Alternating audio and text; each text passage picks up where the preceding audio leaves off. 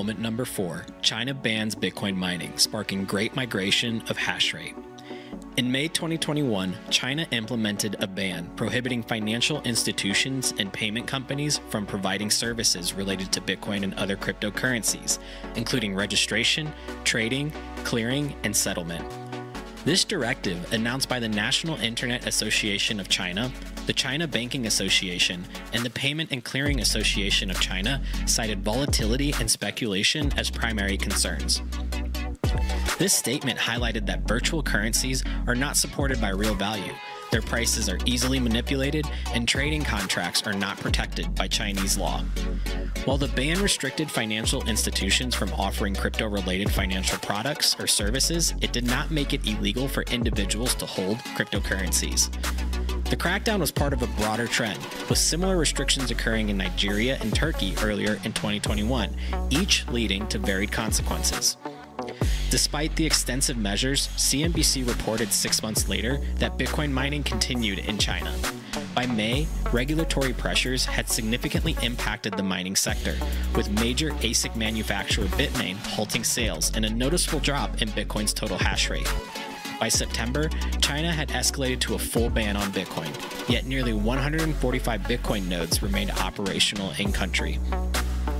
Reports contradicted each other regarding the presence of miners. A Chinese cybersecurity firm identified approximately 109,000 active mining IP addresses daily, while Cambridge University suggested no miners remained. The Bitcoin community met these developments with skepticism, noting China's history of banning Bitcoin without substantial long term effects. However, the recent restrictions visibly impacted the local Bitcoin ecosystem, with many miners and exchanges reducing or ceasing operations. Although Bitcoin operates independently of government sanctions, China's stringent regulations evidently shape the local landscape of Bitcoin, at least temporarily. So, what is money and how does it get value? Paper money has value because someone says so. Bitcoin is different. It's like digital gold. It has value for many of the reasons gold does, but that's only the start. It has a limited supply, only 21 million, so no one can decide to just print more. Because no central authority controls it, it can never be shut down. And unlike with banks and credit card companies, you don't need approval to use it. It puts the power back in all our hands. Bitcoin lets you control your finances. Kraken lets you buy Bitcoin. Kraken, see what crypto can be. Welcome back to the Bitcoin Magazine. Halving a live stream, you just heard it, moment number four. China bans Bitcoin, another huge moment with geopolitical implications. I'm joined now by Mr. Ben Gagnon from Bitfarms, someone who lived through the trauma of this moment and we hope can speak to its gravity. Ben, how are you doing? Happy halving. I'm doing good. Happy halving to you. Just a few blocks out. I know, four blocks to go. So Ben, take us into the mind of a miner during this moment. China, one of the largest geopolitical actors, bans Bitcoin. Your mining firm, I'm assuming, implicated. How did this affect the industry? Why was this such an impactful moment for the entire movement? Yeah, well, I mean, when the China mining ban happened, China represented the vast majority of the network. Uh, they were somewhere around, you know, in between 60 to 75 percent of the network. And China is also the number one electricity producer in the entire planet. Uh, and they have been the number one source of Bitcoin mining investments for many, many years. So when the China mining ban happened, effectively what that did was basically took 65 to 70 percent of the world's infrastructure for, for miners offline immediately overnight. And so what you saw was in, in every halving epoch, you have one massive run up in Bitcoin mining economics, and then the very long uh, crash down to the bottom before the next halving epoch, and, and things kind of reset. Uh, with the China mining ban, we actually had a double wave. It was the only time we had a double pump mm. on Bitcoin mining economics because you, you removed so much of the, the physical infrastructure. Right. I think that's something that people don't understand is, you know, we still have never replaced that infrastructure. I mean, the hash rate is larger now than it was when the Bitcoin mining ban took place, but those megawatts never came back. That physical infrastructure never came back.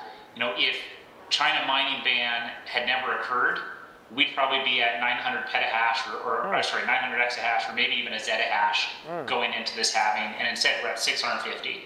Mm. So, you know, this is a massive boon to Bitcoin miners like, like Bitfarms and everyone else because we effectively have a much, much less competitive market space and much mm. more competitive economics mm. because of that China Bitcoin mining ban. Well, I know there's a lot touted that there has been a bit of a happy ending here in terms of hash rate distributing globally. I know you poured a little bit of cold water on that just there, talking about how some of this hash rate has not returned. But is there not a positive silver lining here? Did Bitcoin get more decentralized in your view? For sure, for sure. I mean, we had 70-ish percent all in one country. Now we have that spread around the globe a lot, a lot more evenly. So it is helping in terms of filling out Bitcoin's decentralization ethos. Uh, you know, the United States is the number one area, but we're seeing a lot of emerging economies starting to come up. Paraguay is a big area for Bitcoin mining now. Um, Ethiopia is is coming out as an emerging area for Bitcoin mining. And what we're seeing is Bitcoin mining is actually being used to bootstrap a lot of these economies and infrastructure projects all around the world. You know, in countries where no other industries are willing to make those investments in those areas, um, but Bitcoin miners are seeking profit and they're willing to go to these areas for cheap power and opportunity. So it's absolutely been fantastic for decentralization.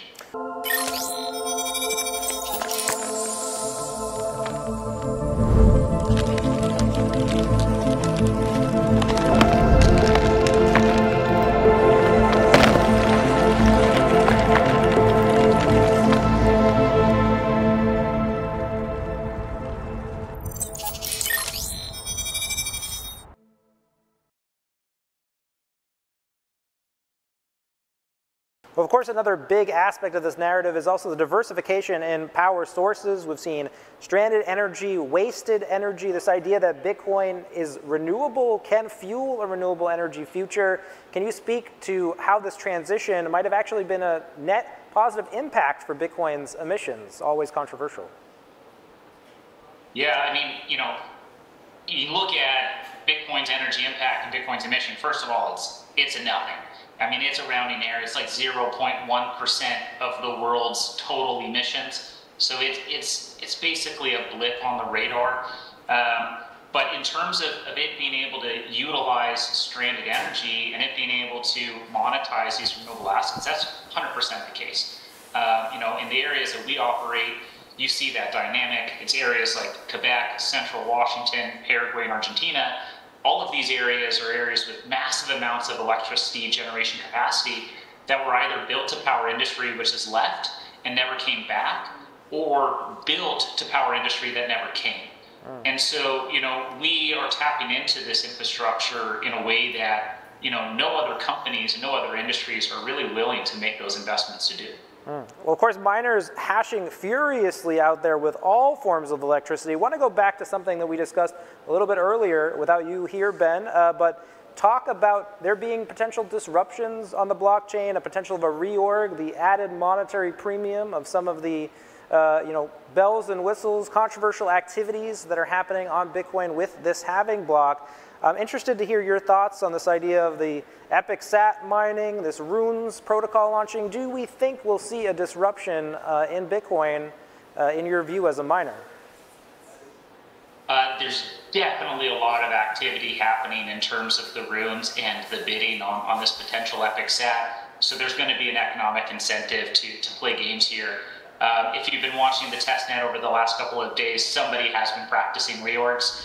Um, so people have been working uh, to try and make this reality. You should expect that, you know, because this first block after the halving is, is potentially worth millions of dollars uh, with the runes and the epic sat calculation, people are going to try and reorg it. Um, this is this is definitely something that's going to happen. It's a very, very interesting economic incentive here uh, that, that we've never seen. This could be the most valuable block that Bitcoin has ever mined. But what's happening behind the scenes, talking about preparing for something like a reorg? Obviously, you have a mining farm, part of a mining pool. Who coordinates on this? What's happening? Can you take us behind the scenes about what might be happening within these companies as they prepare for this moment, which is maybe hours away? Yeah, the it, it's it's all happening at the pool level. So the pools are the ones who are organizing all of the different activity and are competing against each other. You know, the miners are really just contributing their hash rate to the pool unless you're looking at this massive economic opportunity and you're saying, you know what, we're going to disconnect from the pool and we're going to solo mine for, for just a few blocks. Um, I think with the amount of, of, of interest in economic activity that, that's coming out of this first block, that's certainly something that could happen. Um, you know, there's an asymmetric reward there to disconnect from the pool and, and solo mine and, and try and hit try and hit it big. It's it's a lottery with a really good chance of playing out. In your view, does this raise awareness of potential solutions? Obviously, some innovators, ocean mining being out there, one of them, talking about miner payouts. Do you think you'll be paid fairly if you contribute to the pool that wins the halving block? How are you looking at your payout structure uh, with this epic sat, with this halving block ahead of us? It, it really depends on the pool. Um, you know, Foundry, which is one of the largest pools in the world, it's where most of the North American and the publicly traded miners are will contribute their hash rate.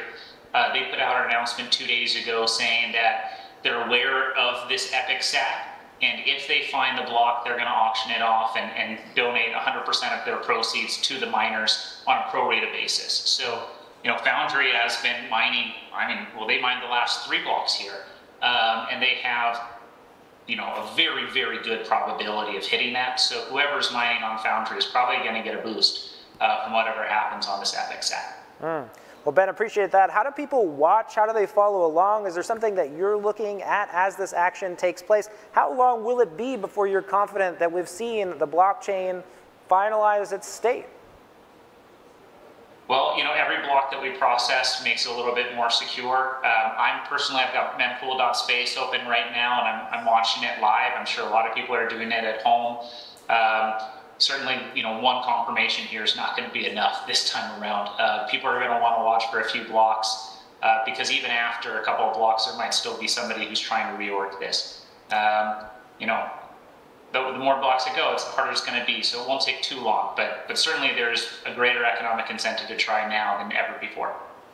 Well, of course, we'll be staying on on the Bitcoin Magazine, halving a live stream post show to go over these blocks to see if anything takes place. Ben, want to give your, you a chance to talk to the people out there. Oh, we're out of time. Ben, thank you for joining us. Good luck Thank you. with the halving block. So, what is money and how does it get value? Paper money has value because someone says so. Bitcoin is different. It's like digital gold. It has value for many of the reasons gold does, but that's only the start. It has a limited supply, only 21 million, so no one can decide to just print more. Because no central authority controls it, it can never be shut down. And unlike with banks and credit card companies, you don't need approval to use it. It puts the power back in all our hands. Bitcoin lets you control your finances. Kraken lets you buy Bitcoin. Kraken, see what crypto can be.